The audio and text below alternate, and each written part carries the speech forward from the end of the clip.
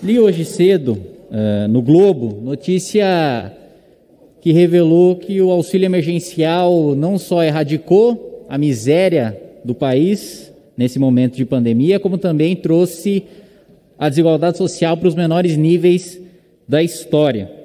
Porém, com a ressalva de que é financeiramente inviável a sua manutenção por custar 600 bilhões de reais ao ano, caso fosse tornado permanente. E eu pergunto e faço uma provocação ao parlamento sobre o orçamento que nós votamos nessa casa todos os anos, os incentivos e os gastos que nós promovemos nessa casa todos os anos. O Brasil gasta mais de 306 bilhões de reais em renúncias fiscais, em benefícios para determinados setores que deveriam empregar, que deveriam gerar renda, mas que na prática só sobrevivem graças ao trabalho duro de quem não recebe esses benefícios tributários. Para além disso, a gente também tem um funcionalismo público, a elite do funcionalismo público, que toma conta da maior parte do nosso orçamento. Né? Só no ano passado, a gente gastou mais de 928 bilhões de reais do nosso orçamento só com folha de pagamento. Então eu pergunto aos senhores parlamentares, né, do que, que vale mais, qual é a prioridade do nosso país, qual é a prioridade do parlamento?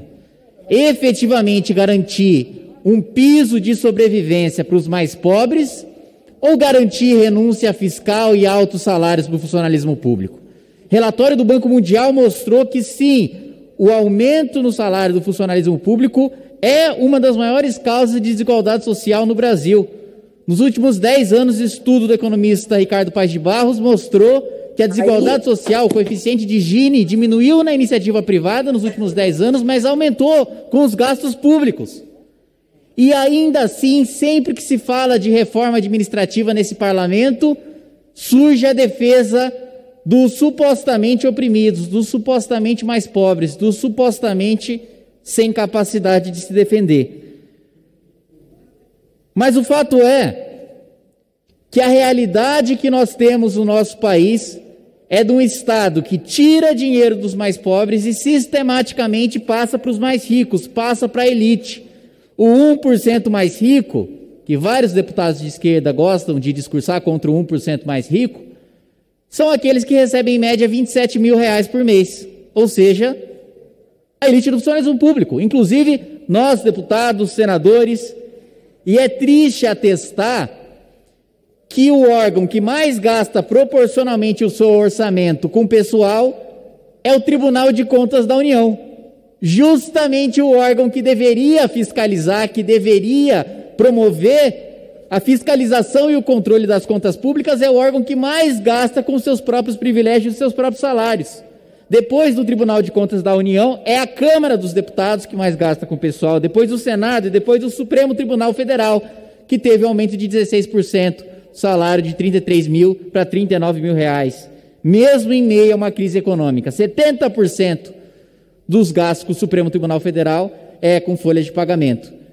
E ainda assim, fala-se que é muito caro manter o auxílio emergencial, que é muito caro promover um sistema de renda básica universal permanente de 600 reais, porque ele custaria 600 bilhões de reais ao ano. Ora, se nós cortássemos o salário de todos os servidores públicos que recebem acima de 5.600 reais, o teto do INSS, inclusive nós, deputados, inclusive senadores, juízes e promotores, nós poderíamos tornar permanente esse que é o programa social mais bem sucedido da história do país, sem nenhum aumento de tributo, sem criar CPMF, sem nenhum tipo de oneração para iniciativa privada, apenas cortando renúncias fiscais o Bolsa Lobista, o Bolsa Empresário, que é concedido ano após ano pelo Congresso Nacional com aval do Palácio do Planalto, isso desde o governo Fernando, do governo Fernando Henrique, passando pelo governo Dilma, governo Lula, governo Temer, até hoje no governo Bolsonaro.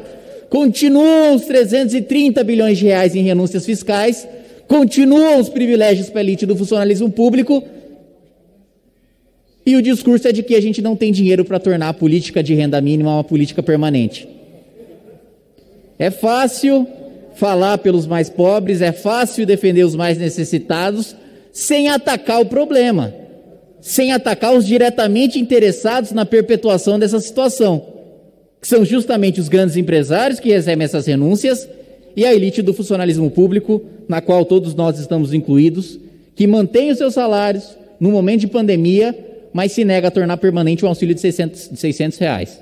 Obrigado, presidente.